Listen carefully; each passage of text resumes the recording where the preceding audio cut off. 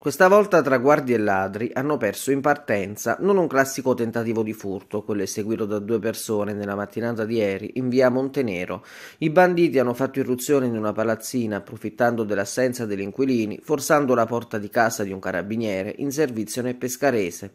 Non riuscendo nell'intento, probabilmente disturbati dai movimenti degli altri condomini, hanno desistito scendendo le scale, incrociando la moglie del militare. Sarebbe stata quest'ultima a scoprire lo scasso e a fornire la sommaria descrizione dei malviventi al marito, che ha allertato i colleghi della compagnia di Sulmona, intervenuti sul posto con una pattuglia per effettuare tutti i rilievi del caso. Non proprio ladri attenti, dal momento che nelle perlustrazioni prefurto qualcosa deve essere sfuggito. I banditi sono capitati nel posto sbagliato al momento sbagliato, avendo preso di mira la casa di un carabiniere. Tuttavia l'episodio conferma l'escalation di criminalità in Valle Peligna tra rapine rapine, furti in abitazione con destrezza, come quello avvenuto domenica scorsa ai danni del primario dell'ospedale di Sulmona.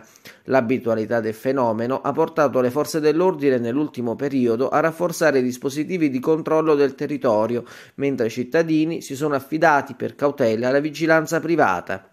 A Raiano, piccolo centro bersagliato nelle scorse settimane dai topi di appartamento, sono saliti a 20 gli abbonamenti effettuati dai nuclei familiari nei confronti della Vigilantes Group, l'istituto che da diversi giorni ha messo a disposizione proprio mezzo per perlustrare il paese. Analoga iniziativa potrebbe essere adottata anche nei centri limitrofi, d'altronde in questi tempi melius abundare.